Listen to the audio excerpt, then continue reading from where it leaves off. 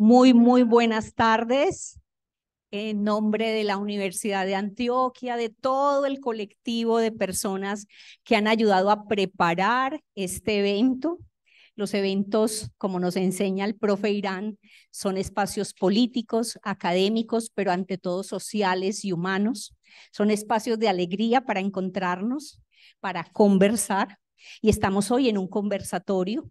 Eh, eh, sí, Estamos hoy en un conversatorio, entonces queremos siempre agradecer a todas las personas que hicieron posible que estuviéramos aquí, a los compañeros y compañeras que están conectados en este momento por la plataforma de Zoom.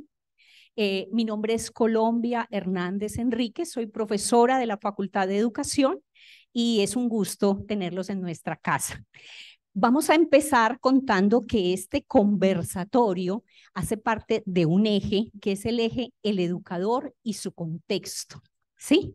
Por eso luego vamos a hablar de quiénes somos y desde qué lugar hablamos. ¿Sí? El tema de la conversación es la formación del educador o educadora en educación en el campo de la salud. ¿Seguimos? Tenemos que comenzar diciendo nuestros momentos. Los momentos son como instantes que luego serán recuerdos o quizás simples olvidos, pero el encontrarnos, el vernos, el estar cerca, por eso les he pedido que nos juntemos más, hace que nos llevemos ese recuerdo por mucho más tiempo, que nos quede, que permee lo que hacemos. Nuestro, nuestros momentos van a ser un momento de instalación, un momento de planteamientos iniciales donde cada uno de los invitados centrales, el profesor Irán, la profesora Blanca, la profesora Viviana, van a compartir un planteamiento inicial, un planteamiento inicial provocador para abrir la conversación. Los vamos a escuchar a ellos tres y al terminar vamos a comenzar dos rondas de conversación. La primera conversación va a ser eh, entre los mismos invitados. La segunda va a ser ampliada, ¿sí? La conversación entre invitados va a tomar más o menos unos 20 minutos y luego abrimos esa conversación en grupo amplio, unos 30 minutos, y hacemos un ejercicio pequeñito de resonancia de cierre, ¿sí? ¿Qué nos queda? ¿Qué se queda con nosotros? Seguimos. Comencemos diciendo que para algunos, como Carlos Mario González, nuestro profesor de la Universidad Nacional, educar no es sino crear las condiciones propicias para conversar, versar con otros, algo que sabemos y que lo ponemos en diálogo. De todas las artes humanas, dice Kant, la conversación es aquella de las más elevadas y es para mucho lo que nos humaniza para mucho, porque la conversación nos encuentra con los otros y nos mueve y conmueve. Seguimos. ¿Cuáles son los principios de la conversación?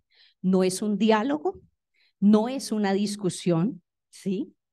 Es hablar juntos de algo que nos une. Para muchos, hoy hemos hablado de la promesa de defender el derecho de la salud a través de creación de condiciones educativas que favorezcan la, salud. los principios entonces de la conversación son ante todo la renuncia al dogmatismo, a pensar que mi punto de vista es el único, ¿sí? Y que no me muevo de allí. Asimilar lo que escucho en el otro para tomarlo y meterlo, encajarlo en mis ideas. El reconocimiento de la alternancia, la conversación implica hablar y callar, escuchar y devolver. Y algo que la escuela ha sacado por mucho, que es la aceptación de la interrupción. ¿Sí? La interrupción como algo irreverente, grosero, cuando alguien está hablando de un tema y, y le pedimos que pare, que pare porque necesitamos preguntarle algo. La escuela ha dicho al final y a veces el final no llega. Muchas veces los estudiantes se quedan con las preguntas porque las preguntas nunca ocurren. Entonces, la interrupción cambiémosle ese significado, no implica irreverencia, implica que estoy escuchando con tanto detalle que no quiero que se me vaya eso que, quiero entender mejor. Entonces hay interrupciones de profundización. Cuénteme más, pare. Esa palabra, ese término que usó, ¿es, es lo mismo que yo entiendo? ¿Sí? Y miren esto tan bello, esto de la alternancia también implica la alteridad. Nos encontramos con un otro y con una otra que no es mi espejo. Viene de otro lugar, tiene otro nombre, tiene otra historia y su historia es tan válida como la mía y yo me veo en él, pero a la vez me diferencio. Seguimos. Es un gusto, miren esta mesa tan elegante, pongamos todos, nuestro profe, nos salen los, nos salen, bueno. El profesor Irán no, no necesita presentación, pero yo igual voy a hacer una trampa, porque cuando me leí los currículos, yo decía, pero ¿cómo lo resumo? Entonces, ahora que abramos el espacio, cada uno va a contar un poco de lo que hace. Al profesor lo hemos escuchado ya en cuatro espacios, tiene una trayectoria y un, una capacidad de unir, de ponernos a dialogar impresionante. Entonces, seguro que no abren, que no dan. Dale un poquito a ver. No. Entonces, está el profesor Inan Arroyo, que nos va a contar un poco de su experiencia y su trayectoria. Nuestra querida profesora Blanca, que viene de la universidad, de la de Proinapsa, ¿sí? Eh, nuestra profesora Viviana. ¿Esa no es su foto? Les pedí una foto actualizada y encontré estas fotos muy parecidas, me, me, disculpan allí. Y yo, yo sé que muchas veces en los perfiles ponemos fotos familiares. Entonces la profe tenía algo que, que dice mucho de ella, pero no había ninguna imagen, ¿sí? Eh, Colombia Hernández, que soy yo, quien va a actuar hoy como moderadora, y obviamente nuestra relatora, que va a ser la profesora eh, de la Universidad del Bosque, que nos, viene, que nos viene acompañando desde hace mucho rato, Aura. Bueno, entonces, casi siempre la conversación gira en torno a los invitados. Las nuevas historias abren las conversaciones para contar también de otros actores. Yo les quiero pedir a quienes están escuchándonos hoy que de manera muy breve nos cuenten su nombre y, de dónde vienen o quiénes son en 10 segunditos. Empezamos entonces con Paula.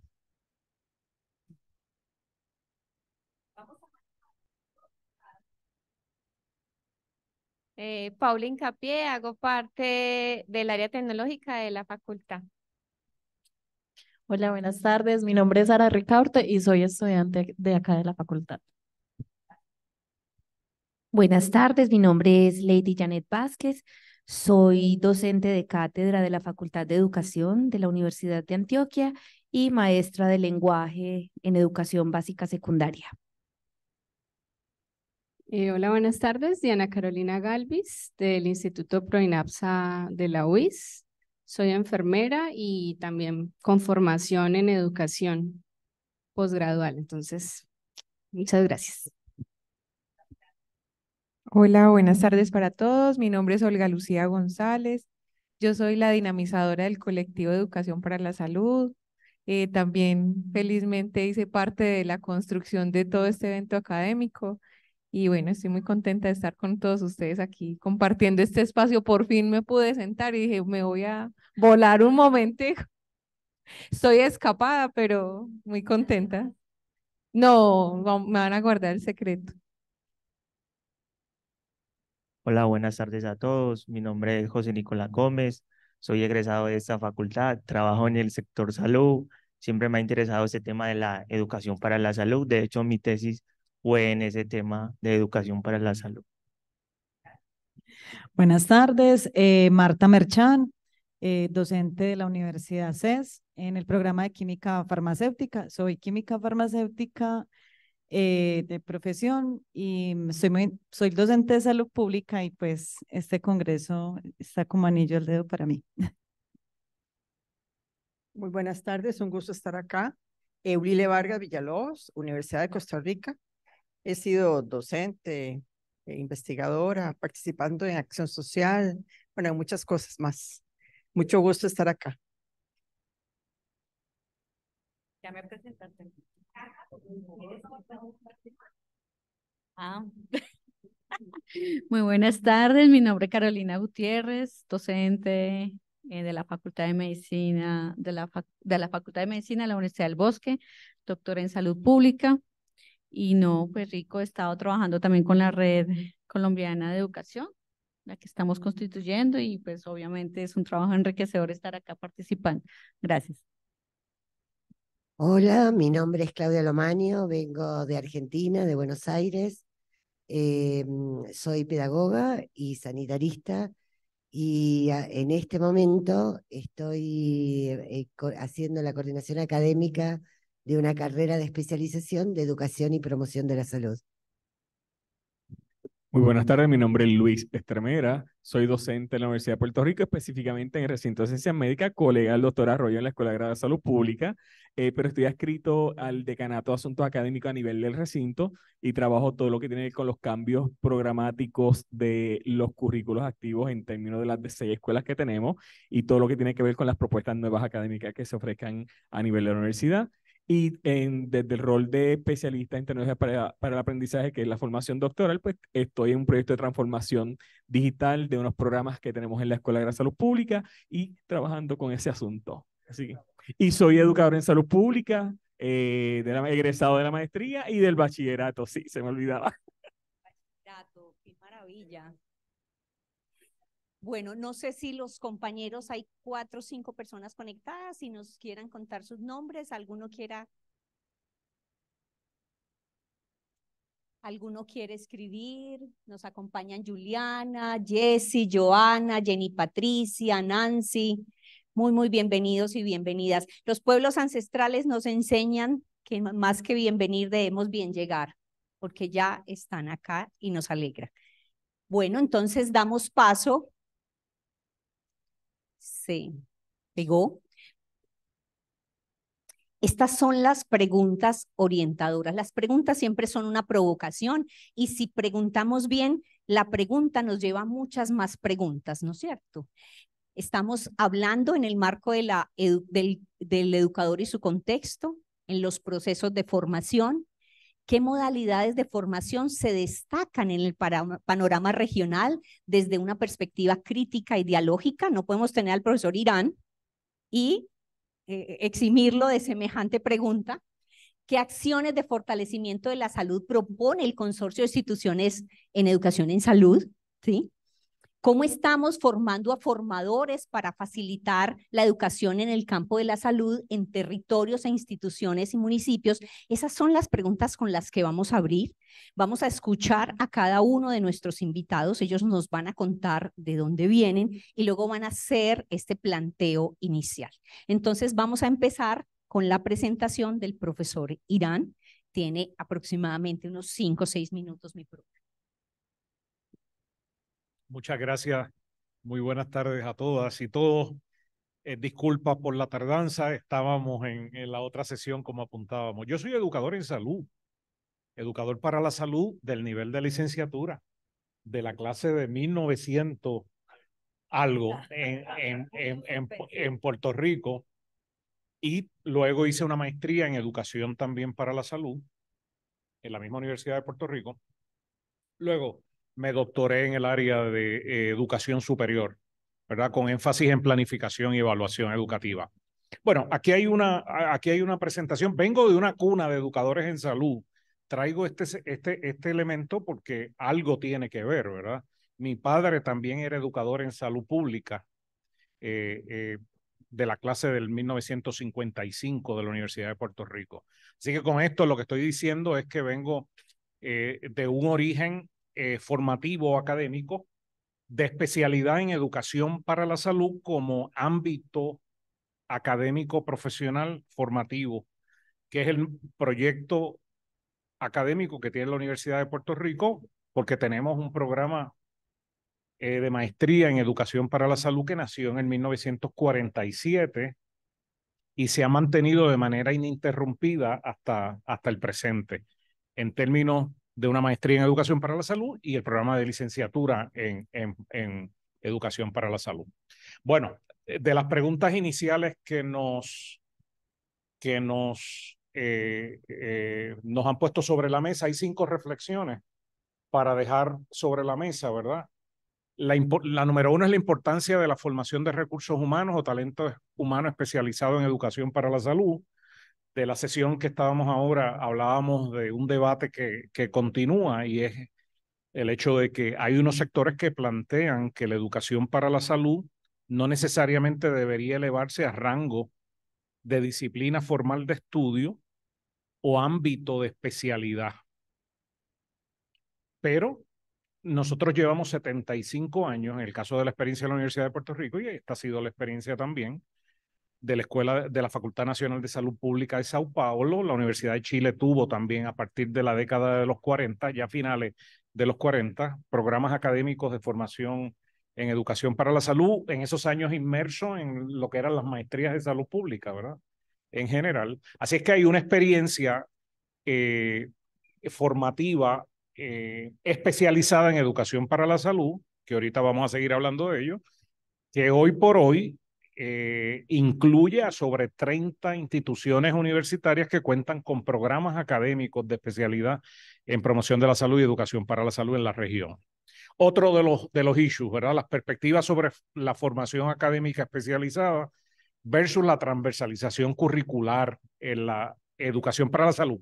Miren, mi, mi punto de vista es que debemos llevar ambos frentes de manera paralela. Son, son propuestas de trabajo de naturaleza complementaria.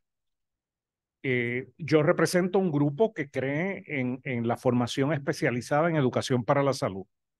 Y paralelamente entiendo de que no tenemos que tener ningún temor en defender políticas y acciones programáticas a nivel de educación superior dirigidas a fortalecer la transversalización de la educación para la salud en los currículos de ciencias de la salud, pero en los currículos de otras disciplinas relacionadas. Así es que esa, esa propuesta de la transversalización es fundamental. Es fundamental porque el movimiento de promoción de la salud reza desde la década de los 80 hasta el presente la necesidad de la interdisciplinaridad, la transdisciplina, la intersectorialidad y esas banderas que son parte del discurso del movimiento global de promoción de la salud, eh, requieren o de alguna forma nos sugieren de que tiene que transversalizarse estos temas. Eh, ya termino. La expansión de ofertas académicas especializadas en Iberoamérica. Empecé ahí diciendo que hemos tenido esa, esa experiencia expansionista en las ofertas especializadas en Iberoamérica la definición de competencias y líneas de ruta académica profesional en educación para la salud. Ciertamente hay eh, eh, toda una experiencia de educación superior con, con la definición de competencias profesionales para educación para la salud. Coexisten diversos modelos en la esfera global, en la esfera continental.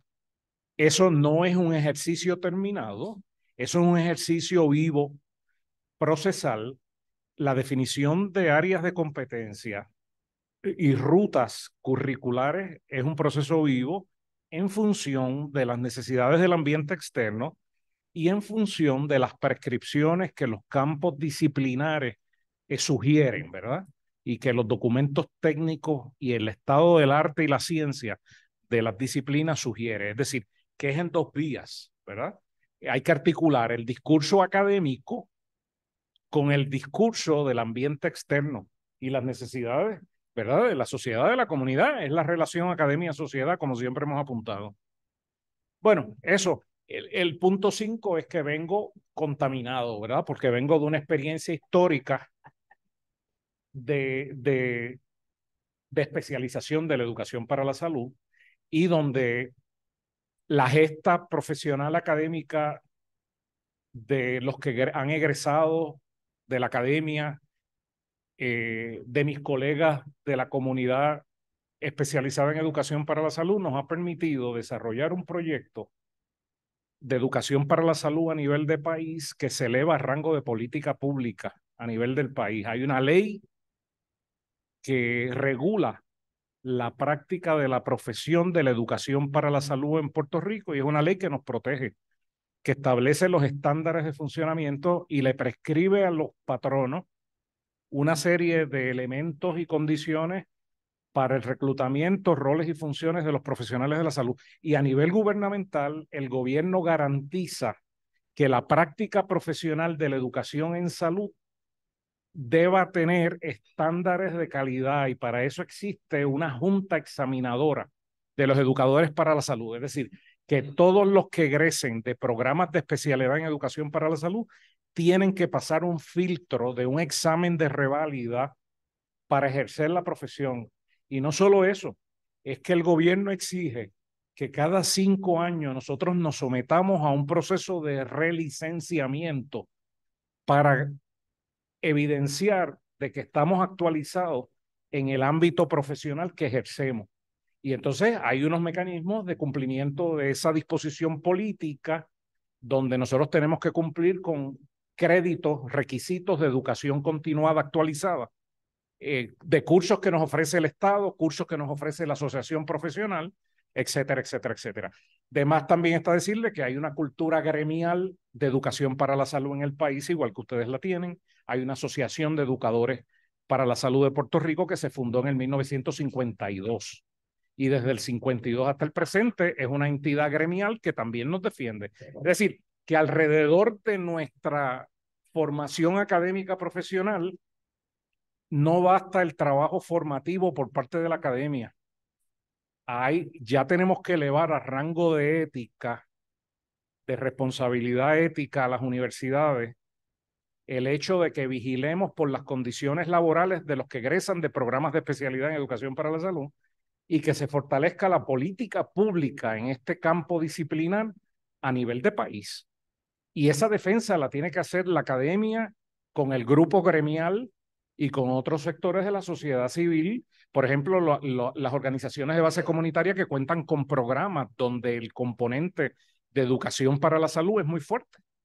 Así que es, es como eh, un primer, una primera aproximación de cuestiones y reflexiones. Me encanta la palabra de contaminación. Contamínanos, profe. Bueno, le damos la palabra a la profe. No sé si usted quiere hacerse acá para que mire los, ¿Sí? los compañeros. No, yo prefiero hacerme acá. ¿Me vas a poner mi presentación? No. Está en la, seguimos con la, con la, la, sí, en la que veníamos. No, eh, en la que veníamos está...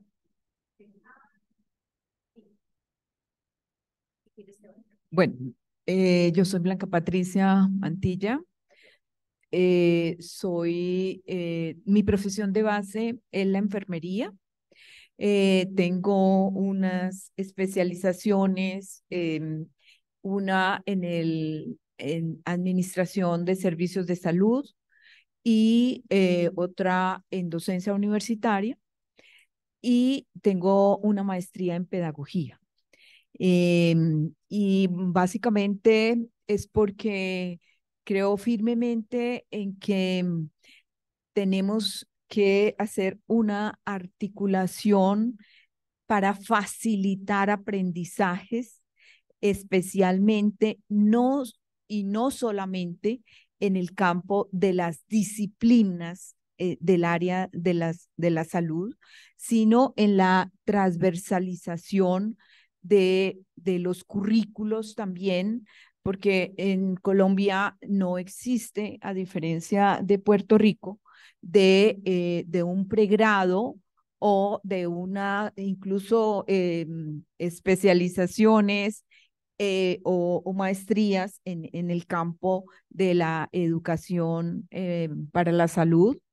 Eh, nosotros desde el Instituto Proinapsa de la Universidad Industrial de Santander eh, que es el, el instituto que yo dirijo, que está en la Facultad de Salud, tenemos una historia, eh, nuestra historia transversalizada con la educación para la salud.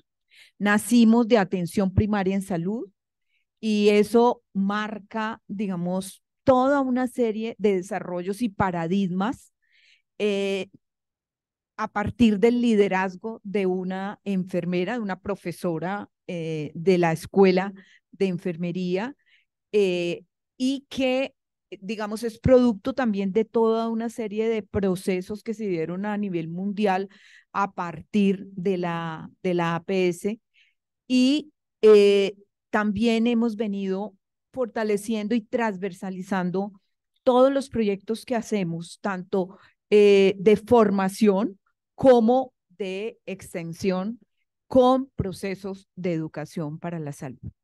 Nosotros tuvimos una eh, especialización en comunicación educativa para la salud y el bienestar. Y esa fue, digamos, el mayor enfoque que, que hemos tenido articulando la educación y los procesos de comunicación para la salud, que también fueron muy famosos por parte de, de incluso de, organismos internacionales como la OPS, más estoy hablando de finales de la década del 90, principios del, del 2000. Y eh, pues obviamente nos hemos dedicado mucho al tema de la promoción de la salud en general y de la promoción de la salud en el ámbito escolar eh, muy particular. Entonces, eh, pues,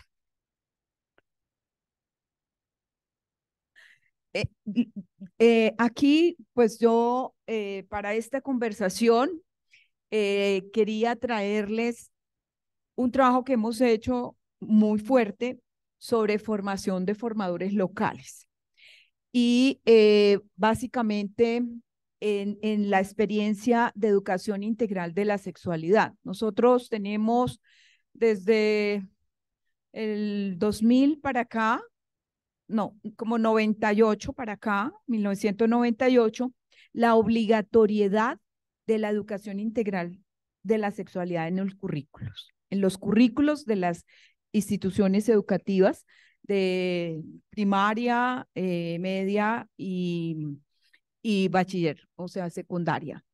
Eh, y, pero esto no ha sido un trabajo fácil porque hay mucha resistencia, especialmente con ese tema.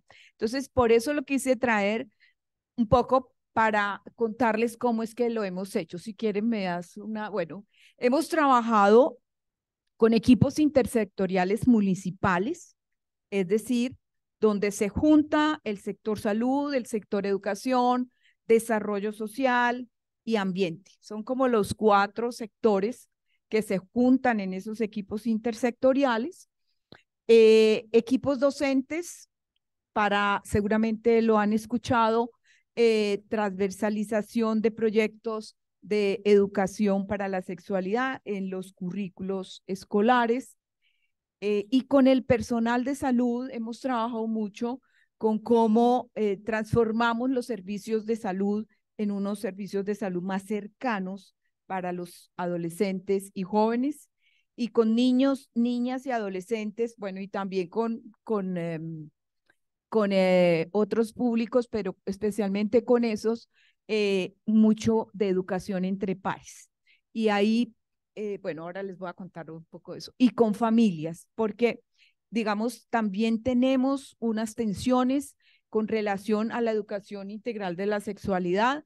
Eh, hay familias que se oponen a que esto se dé en los currículos escolares y bueno, esa, em, entonces un poco qué es lo que hemos hecho con estos diferentes grupos poblacionales. Con equipos intersectoriales, pues sabemos que la garantía de los derechos eh, sexuales y reproductivos y una estrategia que el país tiene de prevención de embarazo en la adolescencia, eh, digamos que está marcada por procesos de educación para la salud y en específico eh, de la salud sexual y reproductiva y, de la sexualidad. ahí entonces hacemos unos procesos de formación dialógica con garantes, los garantes de, derechos eh, para transformar sus conocimientos y sus prácticas alrededor de la educación integral de la sexualidad y acciones para mejorar esa prestación de los servicios para adolescentes y jóvenes que además ha sido pues eh, muy compleja, especialmente en lo local, porque aquí estamos eh, hablando de municipios pequeños, y un plan, eh, hemos trabajado mucho en prevención de embarazo en la adolescencia, que el país tiene un plan nacional y unas estrategias para prevención del embarazo en la adolescencia y servicios de salud para adolescentes y jóvenes.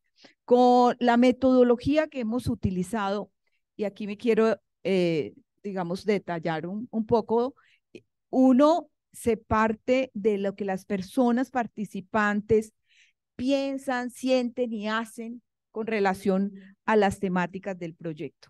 Es decir, partimos de los saberes, de las experiencias que cada uno trae para la conversa con relación a este tema de la sexualidad, de los derechos sexuales y reproductivos, de, los, eh, de la prevención del embarazo en la adolescencia y de sus propios proyectos de vida. Eh, estás basada en diálogos de saberes. Todos sabemos algo y más frente a esta temática de la sexualidad eh, y, y además de, de nuestra propia vivencia de la sexualidad. Creamos espacios y momentos de conversación para el aprendizaje eh, significativo, que es como la, la metodología, digamos, más, más fuerte. Con equipos docentes, los equipos docentes em, realmente tienen unas resistencias muy grandes con esta temática. Eh, trabajamos con ellos a partir de esta, de esta metodología y lo que hemos venido haciendo es fortalecerlos en, justamente en estas temáticas de derechos sexuales y reproductivos, habilidades psicosociales para la vida, prevención de embarazo en la adolescencia y cómo facilitar la práctica pedagógica de estas temáticas. Bueno, aquí eh, algunas de los de los talleres y un curso virtual que hemos diseñado eh, de 40 horas, eh, una actividad que estamos haciendo ya desde antes de la pandemia, que la llamamos del taller al aula. Es decir, en el momento del taller con las personas docentes y cómo hay una transición del momento del taller al finalmente al aula cuando ellos empiezan, ellos y ellas empiezan a trabajar en educación integral de la sexualidad. Y actualización de los proyectos educativos de, de, sexualidad en las instituciones educativas y construcción de matrices pedagógicas eh, en eso. Eh, la otra que hemos hecho con niños, niñas y adolescentes es utilizando una metodología que quizá algunos conocen, que es la metodología niño a niño, y también eh, la educación entre pares. La educación entre pares, especialmente eh, en adolescentes, nos ha dado muy buenos resultados porque es más fácil preguntar a sus pares acerca de la sexualidad. Dale la otra, por favor. Bueno, y, y, utilizamos una serie de materiales educativos que hemos venido haciendo, que su interés es propiciar la conversación y el aprendizaje con relación a la temática. Eso es como lo que quería decir. Gracias. gracias. Le damos entonces paso a la nuestra presentación con la profesora Viviana Castro. Profesora.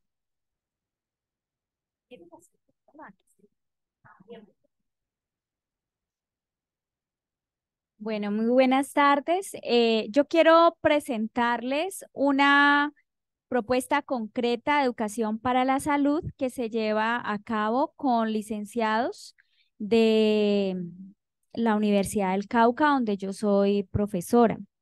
Este proceso lo llevamos hace 10, 13 años, después de que yo me egresé acá de la maestría en salud pública y pues vuelvo a mi, a mi tierra.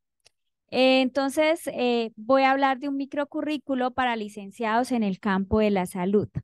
Gracias. ¿Por qué, por qué lo, lo traigo aquí a colación? Eh, el, el, microcurrículo se llama Educación y Salud y se ofrece a licenciados, como les acabo de decir, de diferentes pues, tipos de licenciatura en las cuales ejerzo, oriento y acompaño a estos muchachos. Eh, lo que se observa es que el educador, al menos en el departamento del Cauca, donde, donde, donde yo estoy, donde están ellos, eh, los maestros no, si bien a cabo llevan en sus prácticas eh, procesos de educación para la salud, ellos no son conscientes de que lo hacen, porque lo asumen como parte de su trabajo y de su, de su ejercicio como pedagogos, eh, en parte porque así está determinado por el Ministerio de Educación a través de los proyectos transversales, pero también en buena parte porque hay un desconocimiento o una poca sensibilidad frente a lo que es la salud, puesto que la salud se percibe solo desde una perspectiva biomédica y desde esa óptica, pues ellos asumen que no, no hacen educación para la salud porque no son médicos. Pero cuando ya ampliamos en el programa eh, ese concepto de salud y ellos entienden que no solo con sus proyectos transversales, que son tres, ¿no? Para el Ministerio de Educación, sino que también en la cotidianidad del ejercicio como maestros, principalmente los nuestros que son de zonas rurales del Cauca, eh, pues definitivamente ejercen y hacen educación para la salud. ¿Me permites? Eh, y es este ejercicio el que lo muestra de los insumos de los cuales se obtuvieron estos, eh, esta, esta, esta diapositiva resultan de tres. Primero que nosotros congregamos a todos los maestros del Cauca en un evento que se llama Encuentro de Maestros, que se hace cada año y lo convoca la Universidad del Cauca. Entonces, ellos ahí presentan todas sus ponencias de lo que hacen en el departamento. La otra, eh, el otro insumo es, eh, el, hicimos con otra profesora un ejercicio de explorar todos los proyectos de práctica educativa que hacen los estudiantes de nuestras licenciaturas a lo largo de cinco años, los últimos cinco años. Y el otro insumo es un libro que, ah, no, es un proyecto de paz que se desarrolló y que ya tuvo cierre el semestre pasado y que se hacía dentro del, dentro del programa. Esos tres insumos nos dieron como resultado que en efecto los maestros hacen, ejercen eh, prácticas de educación para la salud sin ser sensibles en ello y a veces sin tener la formación adecuada para ello, puesto que sí pueden tener su conocimiento disciplinar, pueden tener su conocimiento en pedagogía, claro que no se les niega porque tienen formación de pedagogos, pero otra cosa es la salud. Entonces, sabemos que aquí en Colombia hay una separación entre el Ministerio de Salud y el Ministerio de Educación pero en el campo del ejercicio del maestro, el maestro hace ejercicios de práctica educativa en salud sin tener la formación idónea para ello, ni siquiera los elementos básicos. Y lo hace no porque él quiera o pretenda hacerlo, sino porque la misma necesidad del contexto lo hace así. Porque es que él no puede llegar a dar química cuando hay tanta violencia mental, física, social en un departamento como el Cauca donde ustedes sabrán, pues por eso el presidente Petro estuvo la semana pasada, eh, porque es un, departamento de la mafia, tomado totalmente por la magia mexicana y, la misma colombiana. Entonces, el muchacho allá le dice al, profesor, profe, yo para qué voy a estudiar si yo gano más plata que usted. Usted mata todo un, un mes para ganarse, ¿sí? Y yo en un día me gano lo que usted gana en el mes. Entonces ya con eso deja calladito al profesor. Eh, entonces, hay, hay una cantidad de factores que hacen que el muchacho, el maestro, tenga que empezar a hacer prácticas de educación para la salud para poder ahora sí dar la clase de matemática, la de ciencias naturales, la educación ambiental, porque si no pasa eso, o sea, no, no genera, despierta el deseo del estudiante por aprender, pues no va a pasar nada. Entonces termina ocurriendo eso. Además que, además de la violencia por conflicto armado y por mafia, también tenemos pues violencia intrafamiliar, tenemos todo el como cualquier lugar de Colombia, pero también tenemos problemas asociados con la nutrición, con la asepsia, problemas de, pues, eh, de la parte sexual y reproductiva, temas de bullying, de género, la cotidianidad, ¿no? De cómo tratarnos, de relacionarnos, de reconocer al otro porque es diferente, es homosexual, porque es, es afro, porque es indígena, porque es venezolano. Todos esos factores eh, son de la cotidianidad y están incluidos en la, en la guía 49 del Ministerio de Educación, de donde habla de la convivencia escolar. Y es que cuando uno lee todo el tema de la convivencia escolar, estamos hablando de educación para la salud, porque es aprender a convivir, a relacionarnos, a respetarnos en la diferencia. Entonces, ah, vimos y encontramos que esos son las dificultades encontradas por los maestros en todo eso que les comento, porque ellos lo llevan allá en sus ponencias y eso es lo que ellos terminan haciendo. Entonces, vemos temas de exclusión, de desplazamiento forzoso, de maltrato y abuso infantil, consumo y adicción de sustancias psicoactivas, carencias físicas, económicas, emocionales. Encuentran en los jóvenes, en los niños que ellos educan, inquietudes y prácticas sexuales mm, particulares, hábitos inadecuados de alimentación, todo lo que ahorita se despertó después de la pandemia, trastornos de salud mental, principalmente depresión, suicidio y ansiedad, autolesiones, eh, interacciones inadecuadas con el medio ambiente, porque ustedes saben que pues no somos muy sensibles en el trato con el medio ambiente, a pesar de que el Cauca tiene mucha comunidad indígena, pero pues solo los indígenas son más sensibles, el resto de las comunidades campesinas, mestizas y afros no. ¿Cierto? Y pues viene allá lo que hacen los maestros. Empiezan a hacer educación para la salud sin estar necesariamente preparados para hacerlo, temas de nutrición, género, salud sexual y reproductiva, salud mental, convivencia escolar, relaciones interpersonales, asepsia y salud mental. Eso fue lo que encontramos, ¿no? Pues pueden haber más cosas, pero diríamos que eso es lo común, lo más relevante. Bueno, los insumos ya acabo de mencionarlos, pasamos a esa. Eh, esta ya la acabé de mencionar, ajá. Eh, bueno, esto también es lo que les digo, que se llama educación y salud. Y los objetivos, pues eh, creo que ya los he mencionado.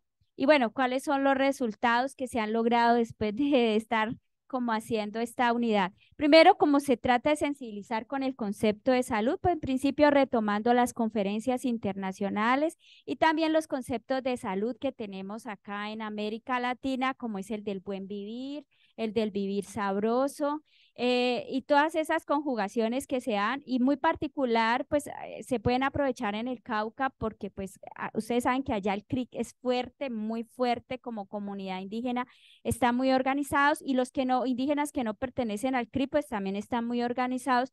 Entonces es común para que nosotros los caucanos tengamos un acercamiento muy fuerte con el concepto del buen vivir. Entonces digamos que, pero ellos no saben que eso es salud.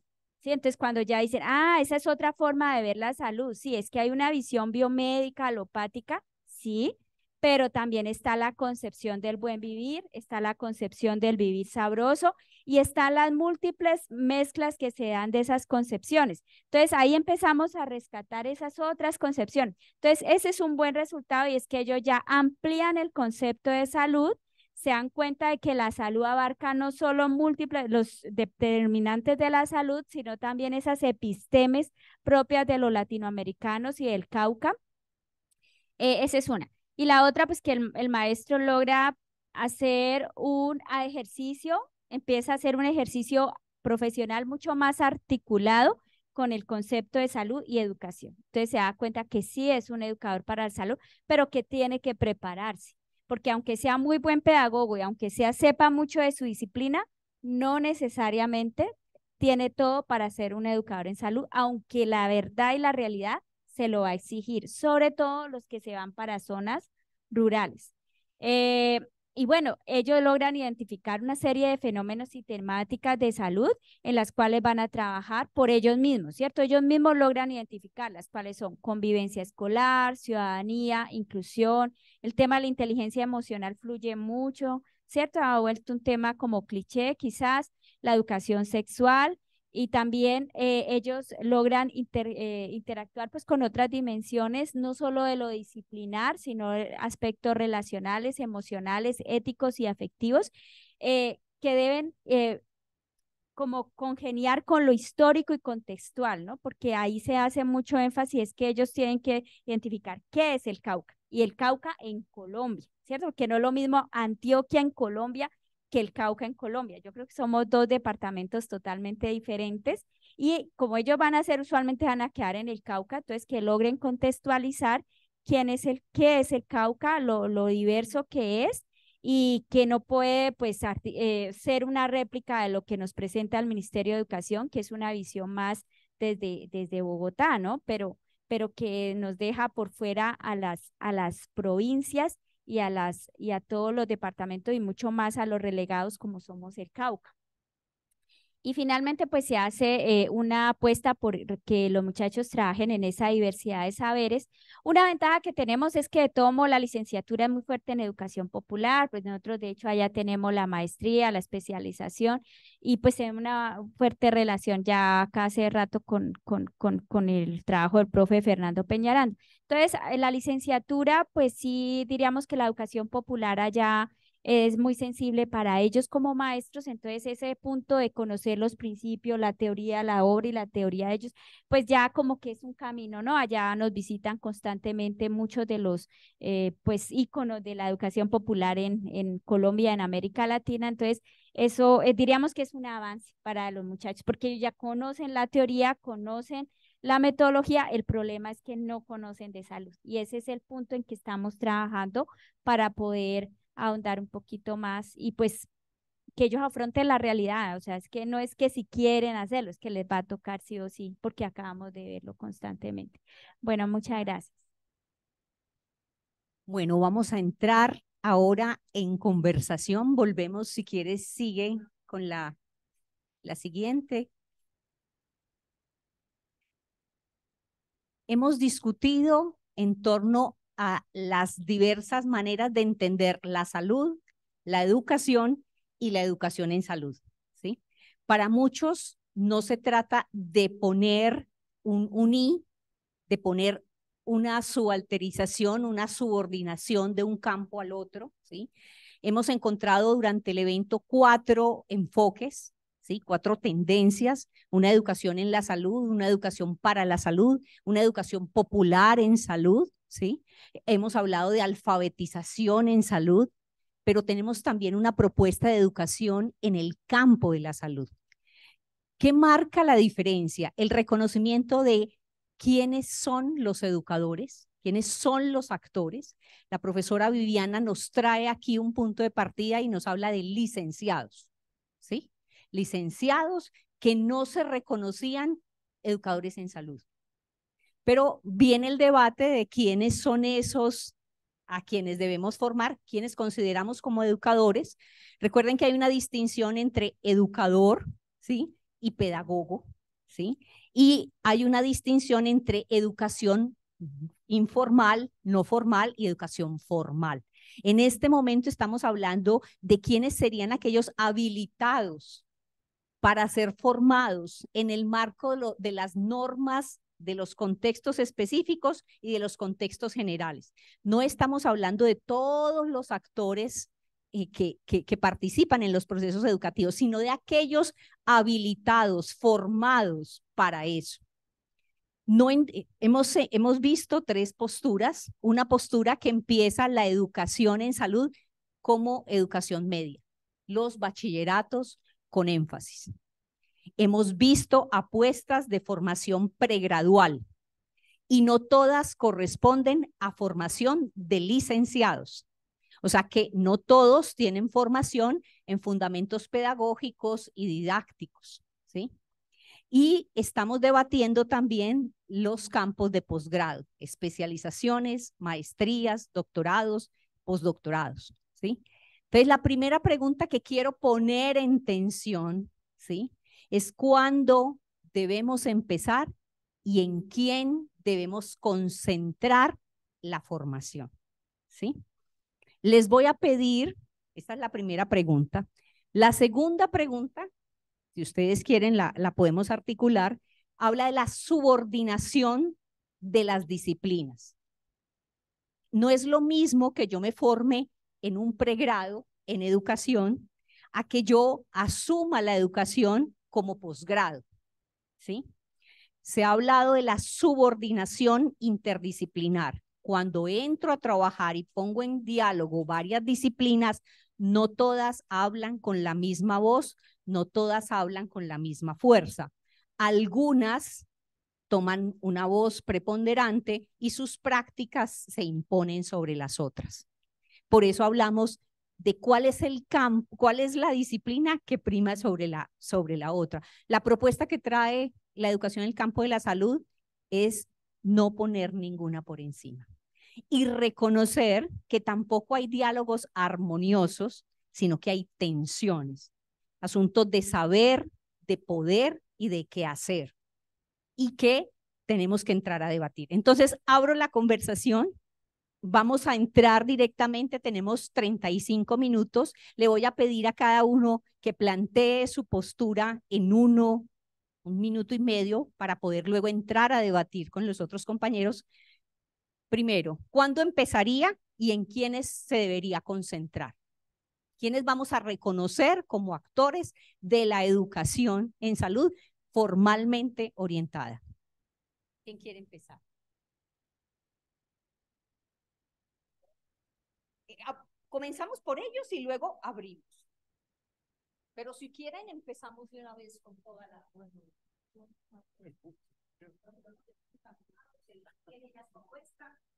Sí, yo, yo estoy, yo estoy contaminado.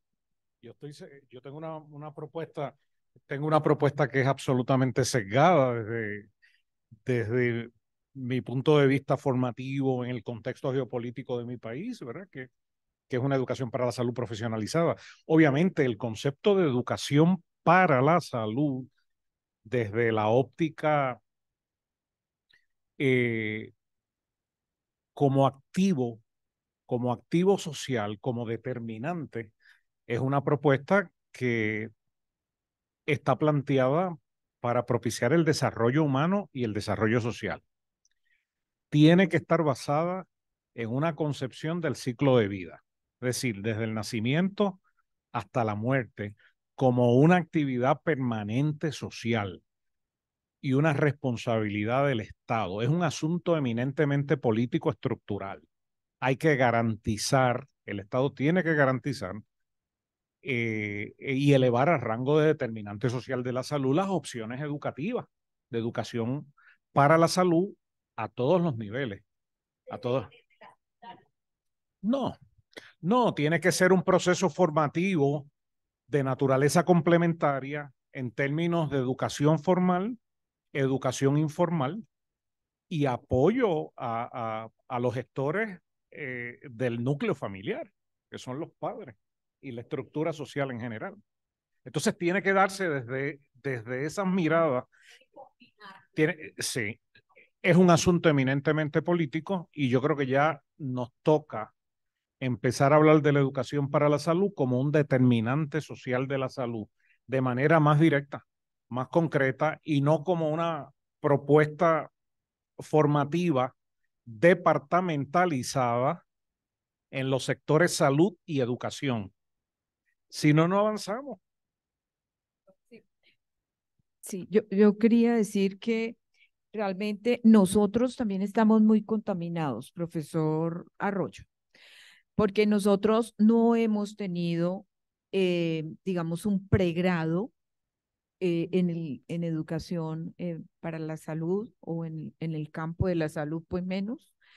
Lo que nosotros hemos tenido desde el punto de vista de lo formal, de la política, es proyectos pedagógicos transversales obligatorios donde se abordan digamos, eh, temáticas de educación para la salud.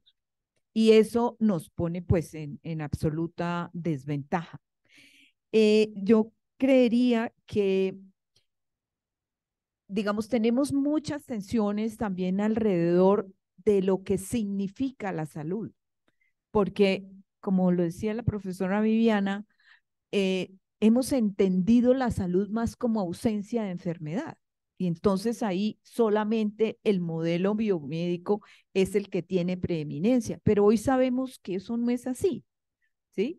Que se construye en la vida cotidiana, en los espacios de trabajo, de enseñanza y de recreo, dice la Carta de Ottawa. Entonces, digamos que ahí tenemos, tenemos unas, unas tensiones y con relación a la subordinación de las disciplinas, eh, yo creo que ese, ese enfoque que se le ha venido dando de, eh, de los proyectos pedagógicos transversales contribuye en algo a digamos, a, a cómo generamos aprendizajes desde, desde el, ámbito escolar, entendiendo la salud como un resultado social y político más que personal, porque esa es otra cosa. Entendemos la salud más como los estilos de vida, las cosas que hacemos y es un enfoque absolutamente eh, reduccionista.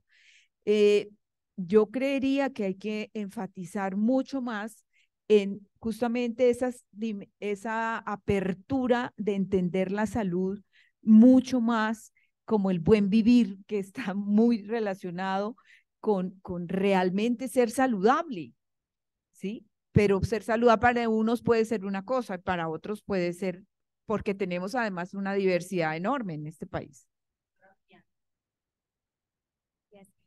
Eh, sí, yo eh, reconozco que es necesario crear programas de educación para la salud en, Colombia, que no los hay como tal. De hecho, la línea de educación para la salud en salud pública prácticamente tiene un nombre, Fernando Peñaranda en Colombia. Es, empieza y termina ahí.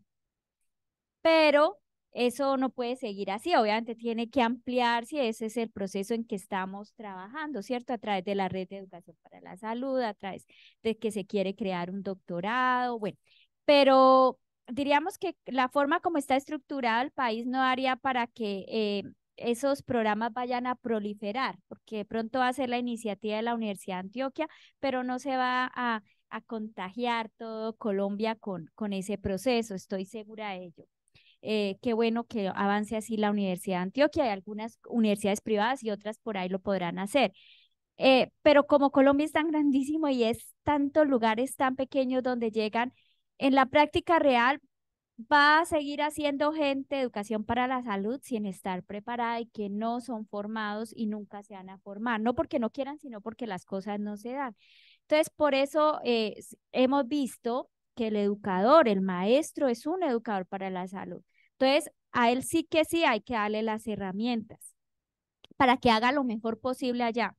Es como la, la señora, eh, como decir que solo el ginecólogo va a recibir eh, bebés en, en todo Colombia. Ese es un absurdo porque el ginecólogo no va a llegar, a ver, les digo, Argelia Cauca, ¿sí? No le llega un ginecólogo allá porque sabe que allá pues es una zona muy roja de Colombia, pero sí llega la partera. Es así de sencillo, ¿cierto? Entonces hay que reconocer esas realidades que es que Colombia es demasiado grande y con un conflicto social y de violencia tan grande que los que llegan allá son los de allá. Entonces tenemos que formar a esa de allá la ventaja del maestro es que el maestro sí se mueve por todo el país, ¿no? Por eso son líderes sociales que nos los matan, los, los, los han exiliado, en todo lo que sabemos de, de los líderes sociales son maestros, porque ellos sí se empapan de ruralidad, de Colombia y terminan haciendo esos procesos. Por eso yo defiendo tanto la, la, el papel del educador para la salud de los maestros. La profesora, la profesora Viviana destaca lo local, el profesor Irán defiende también lo global, el llamado, por ejemplo, la invitación a pensarnos las competencias entre muchos, ¿sí? Esa tensión va a seguir existiendo. Yo quisiera entrar en, en un punto eh, eh, adicional. Cuando hablamos de educar a esos educadores en el campo de la salud, casi todos los conferencistas han puesto en tensión de que necesitamos otro perfil de educación. El profesor Vasconsuelo hablaba de una, una educación que nos lleve a organizarnos y asumir la educación, la, la, la salud como algo propio, ¿sí? Es el empoderamiento de cada uno en su entorno con sus particularidades, ¿sí? Pero también hay un llamado a pensar una sola salud, una lectura integral de la salud. Este es un movimiento muy fuerte que no podemos negar entonces, la pregunta que yo quiero traer a colación allí es, ¿qué sería eso nuevo que teníamos que poner en los educadores? ¿Sí? Eso, eso que no está. A veces decimos que formamos para un siglo que ya terminó y no estamos anticipando los retos que vienen. Eh, pero quisiera que nos saliéramos del vocabulario común, de, las, de, los lugares comunes. ¿Qué es eso que falta en la educación? ¿Qué es lo que tenemos que traer que no hemos puesto? No para ahora, sino para las, las décadas que siguen.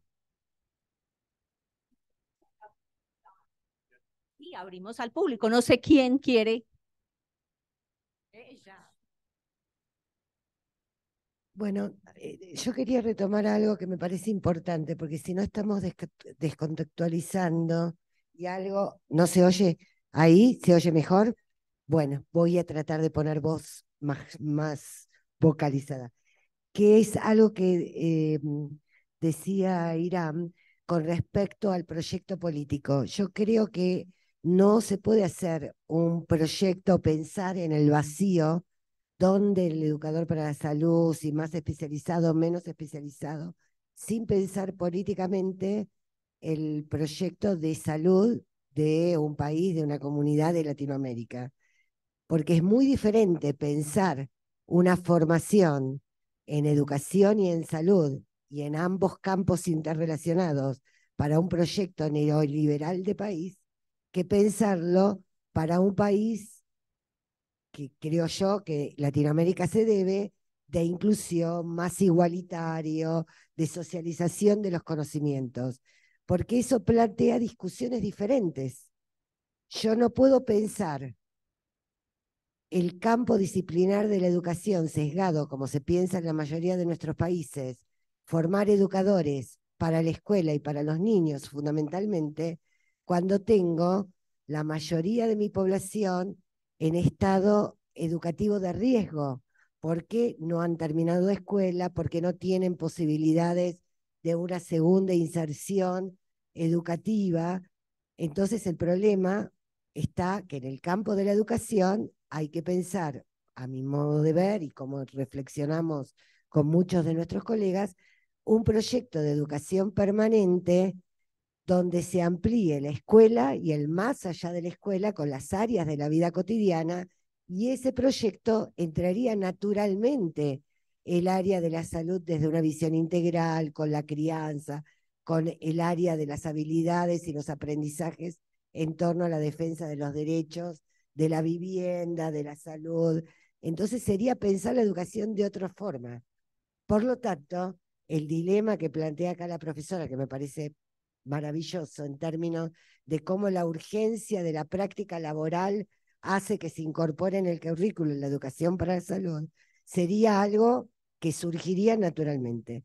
Lo mismo, si yo tengo un proyecto de salud pública, pública gratuita, de acceso para todas y para todos, obviamente que el centro de esa puerta de entrada, que es el primer nivel de atención, me va a hacer pensar en un lugar de cercanía donde no solamente se dé asistencia biológica a la enfermedad, sino también un acompañamiento a los problemas cotidianos de la gente, que es cómo llego a fin de mes, cómo accedo a la vivienda, al agua potable.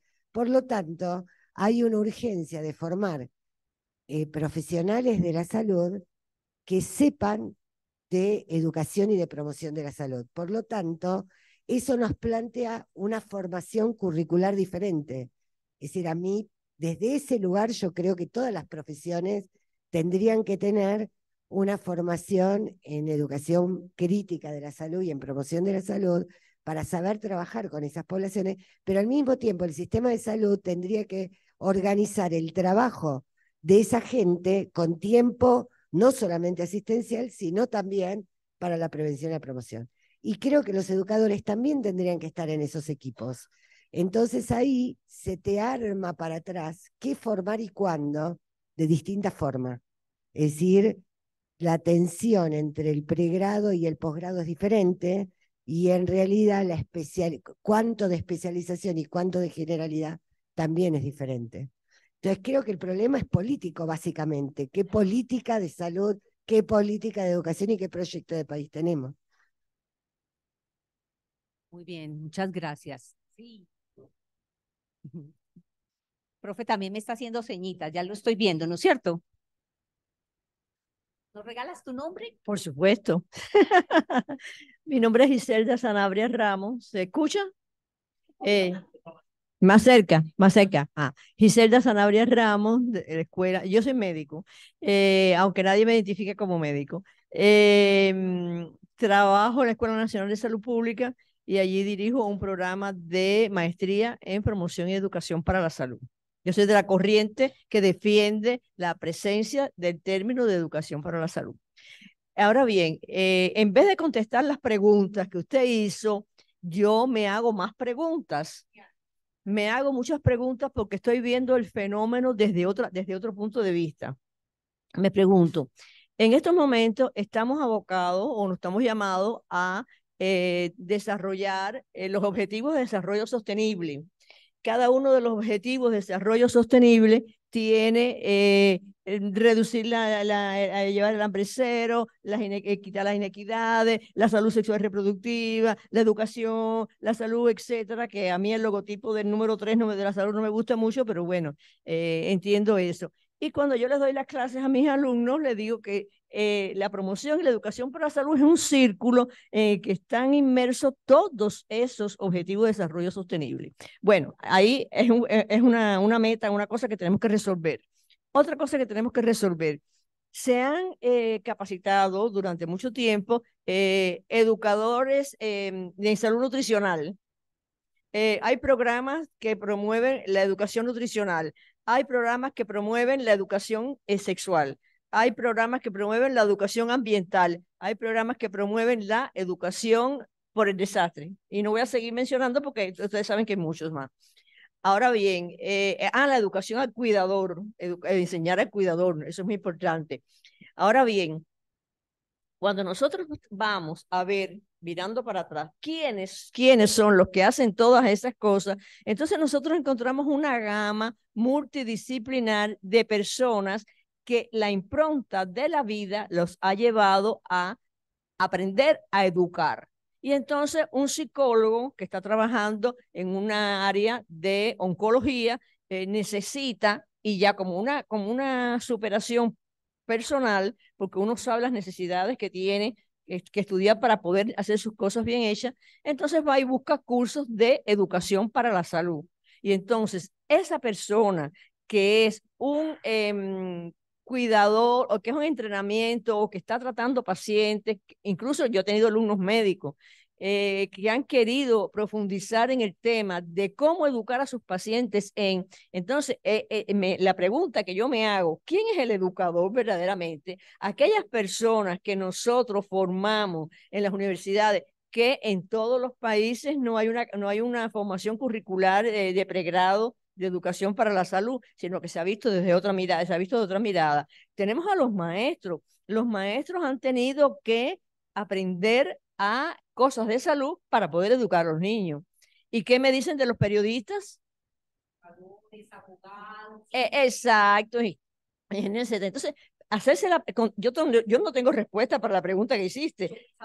Pues no, pues yo me hago miles, yo me, yo me hago miles todos los días porque es una definición muy eh, comprometedora, muy comprometedora y que tenemos que hacerla, hay que hacerla, pero hay que pensarla.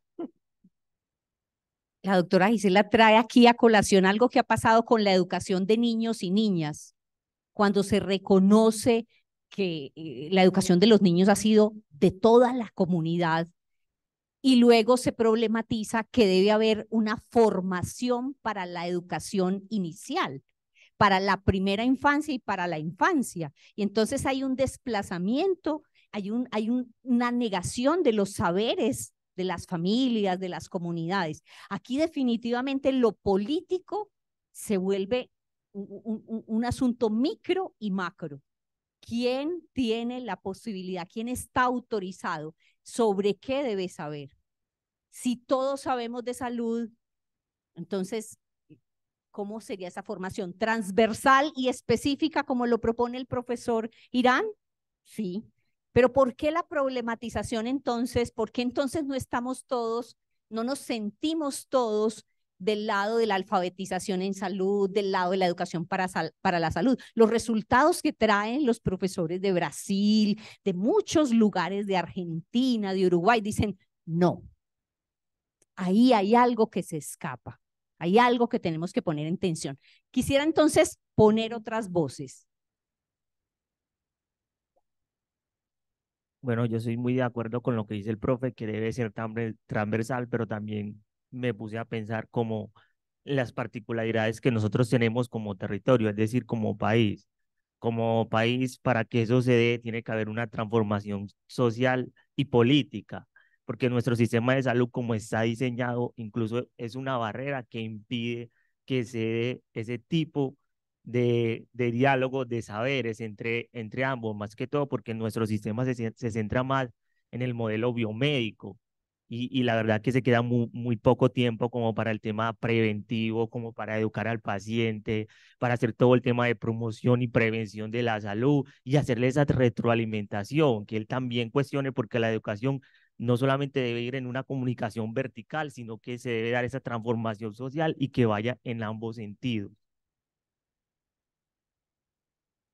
Pareciera que, como nos dicen los pueblos ancestrales, tenemos que devolvernos y devolverle la salud a todo el mundo. La salud no solo como un derecho del cuidado en el asunto médico, en la prevención de la enfermedad, sino reconocer que somos todos los que tenemos un poder, una acción por desarrollar, ¿no es cierto? Pero que a la vez necesitamos grupos, instancias y personas cualificadas en los marcos globales y en los marcos locales, ¿sí? Porque hay que poner en diálogo los, los dos. Otras voces. También hay una, quiero traer aquí las profesiones que vienen pidiendo ingreso a la comunidad de salud. Abogados, ingenieros, comunicadores, filósofos, personas de letras, de lenguaje.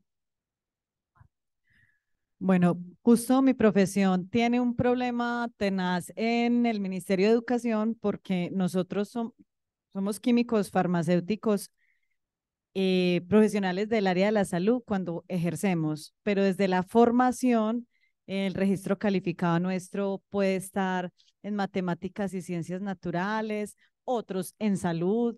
Entonces, en el país los programas de farmacia no están en una misma área, ni en salud todos, ni o todos en matemáticas, porque somos miti-miti.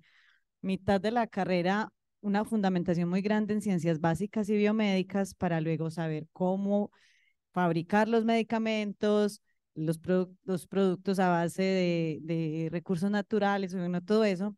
Y adicional, eh, también tenemos un campo muy importante que es la atención farmacéutica, es decir, las personas usando los medicamentos. Nosotros somos los llamados a as- asegurar que esa farmacoterapia sea segura y sea eficaz en esa población. Entonces, me interesó mucho el tema del Congreso porque justamente nosotros en la parte comunitaria somos invisibles.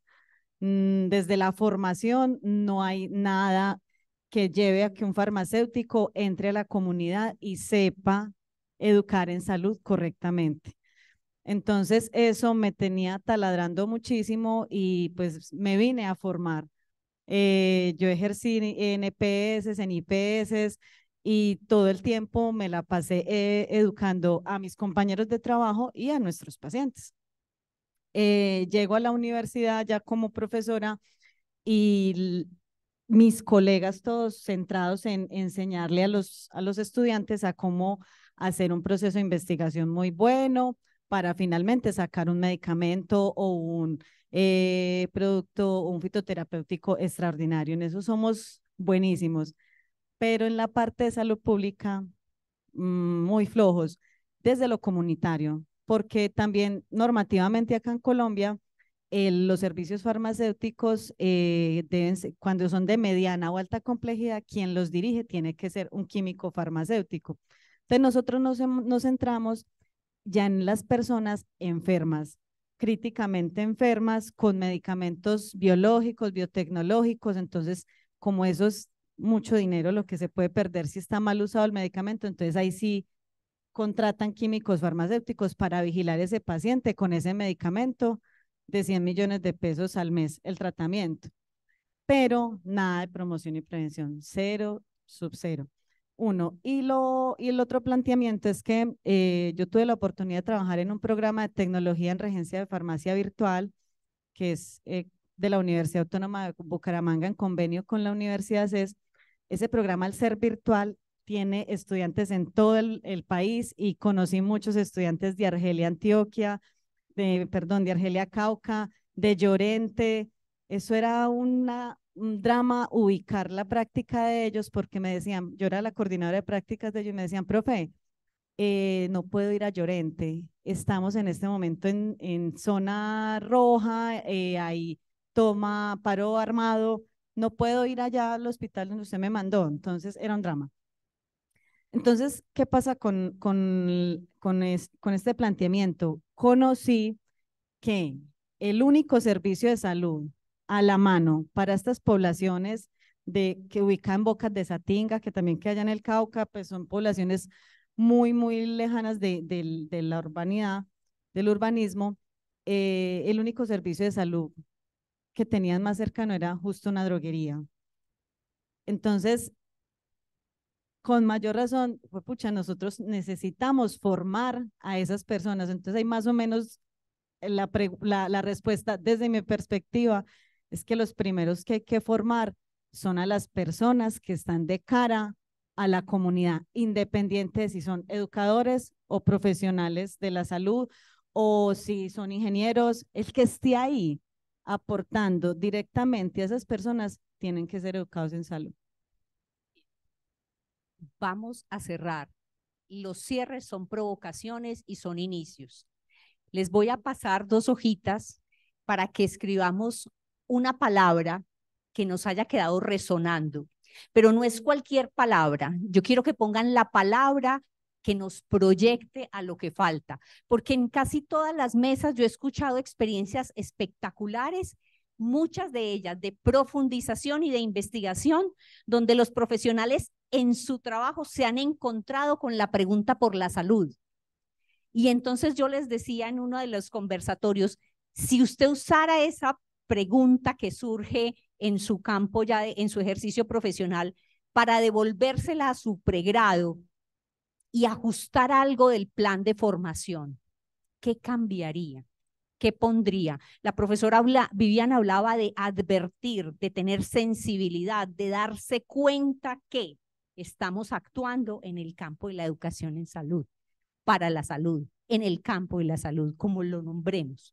Entonces, ¿Cuál sería esa palabra? Una hojita por acá, una por acá. La resonancia es eso que puede no haber aparecido como una palabra, pero a mí me quedó sonando, porque no está, porque se reitera, porque me generó incomodidad, ruido, porque la odio o porque la amo, ¿cierto? Pero necesitamos deconstruir esos malestares. ¿Qué quisiera que me, si devolviera el tiempo y me volviera a formar, ¿qué le pondría, digamos, a mi educación en el campo de la salud? ¿Sí? A mi pregrado. La profesora Gisela nos picó ahí desde la medicina, tú desde lo micro. Lady tiene muchas preguntas desde el lenguaje. Entonces, 30 segunditos para que escribamos y luego compartimos esa resonancia. Sí. Sí, es una palabra.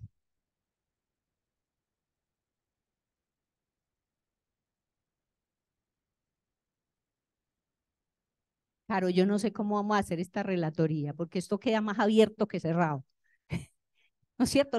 los cierres de los conversatorios deberían ser como puertas abiertas.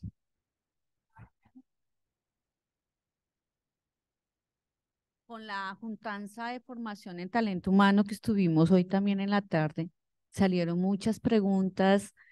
Hay aspectos de reflexión realmente de la vocación como tal, porque también eh, la colega que hablaba y la doctora hablaba de que estar formando y todos tenemos como eje transversal la educación prácticamente sin importar la disciplina, sin importar la formación, porque realmente también la comunidad, entre ellos los líderes comunitarios forman. Entonces veíamos que también influye mucho, uno, la vocación y dos, la parte humana. Humanismo, porque no todos somos humanos al dar un conocimiento. A veces somos duros o celosos, ¿no? Hay una experiencia, yo, yo trabajo mucho en educación hospitalaria, en pedagogía hospitalaria. eh, en este momento en la línea de maestría tenemos una línea de educación y salud, eh, reconociendo la, el diálogo, la mediación de lenguas y lenguajes, ¿sí? Y, y, en el, y, recuerdo que en uno de los hospitales donde trabajaba el jefe de cirugía era una cuchilla, era un hospital universitario, el hospital de la Universidad del Valle. Yo soy caleña. Y entonces tuvo, después de que ha- hacía sufrir a todos los residentes, a todos los internos, eh, el doctor tuvo una situación de salud y fue a cuidados intensivos. Desde ahí salió diciendo, para ser bueno en el campo, debemos hospitalizarnos primero. En el, en, en el semillero, donde están los chicos jóvenes que quieren trabajar en salud, una de las prácticas en el semillero de camino a las, a las, a las áreas de la salud es ser paciente y que los otros lo tengan que asistir. Entonces usted quiere, pero cójame bien, no me, abar- me voy a caer de la camilla. O sea, estar en el lugar de tal cual. Bueno, también soy médico.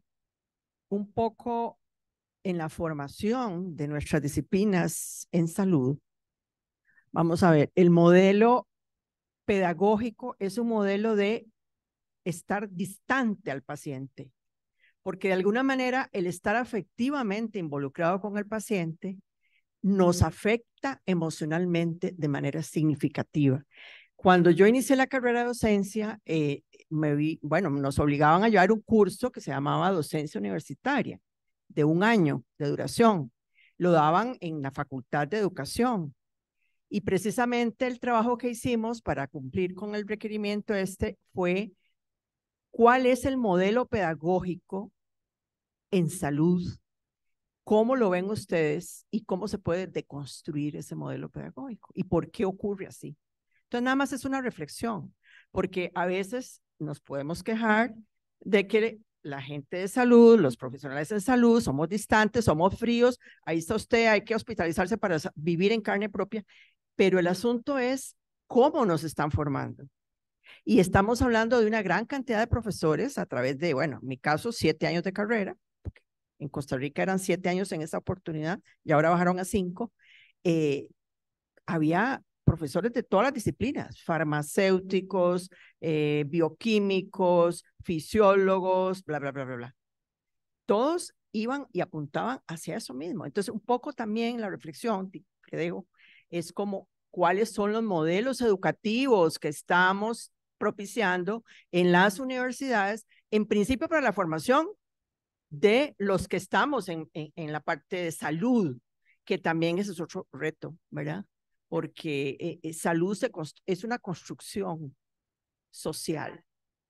En principio, todos los profesionales de todas las carreras deberíamos de estar sensibilizados en ese aporte a la construcción social de la salud.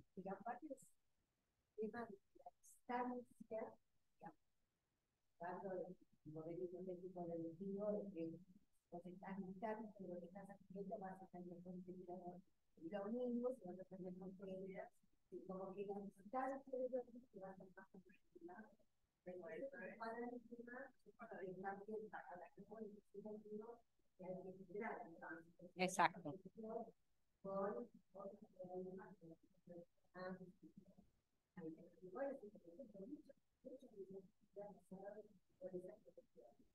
Ok.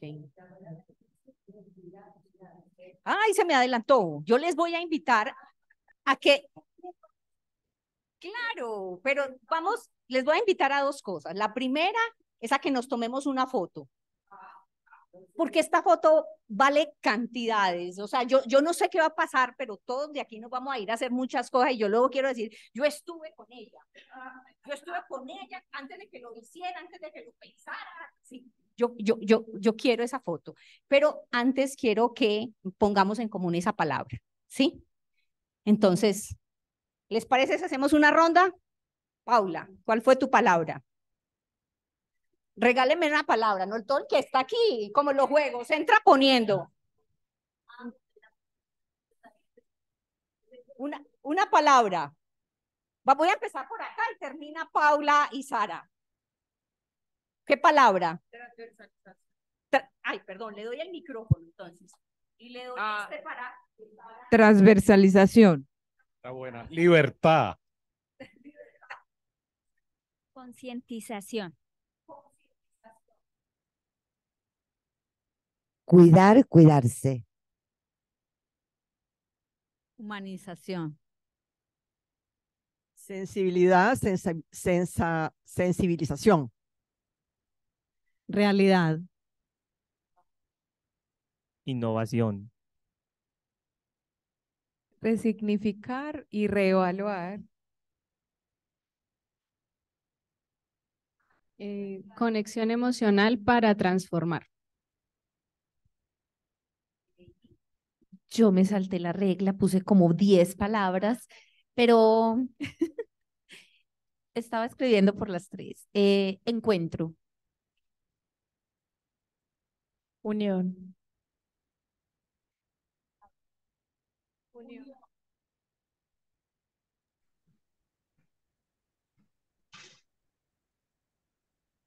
Me la palabra, mañana y la cobro. También, yo también quiero decir la mía.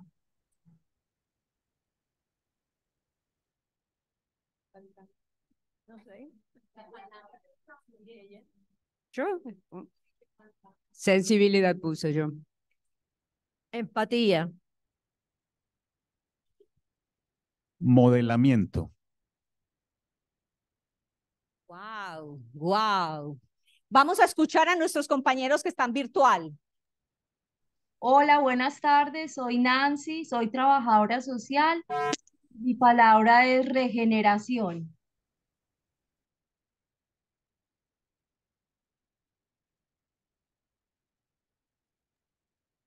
¿Sí se escuchó?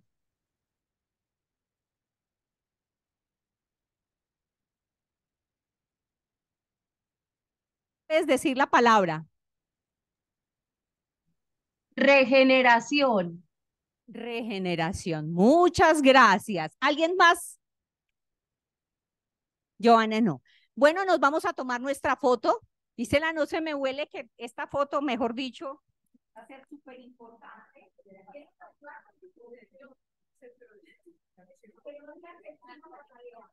你好。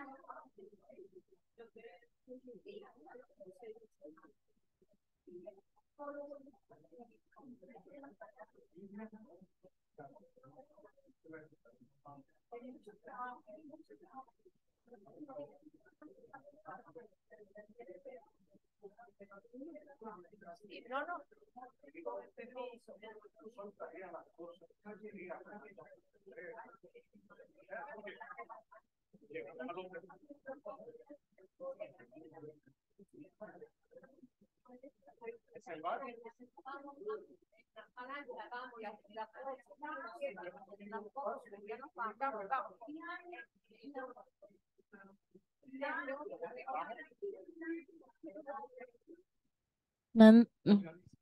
Uh, Nancy, hola, ¿nos puedes acompañar prendiendo tu cámara para que quedes en la foto? Si gustas.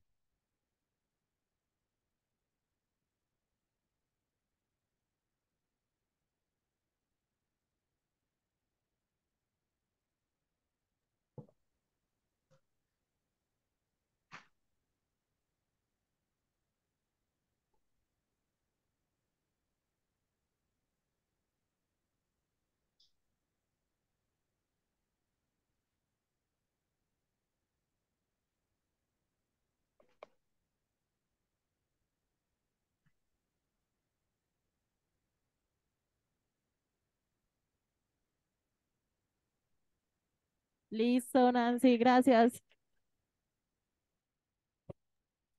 Gracias a ustedes.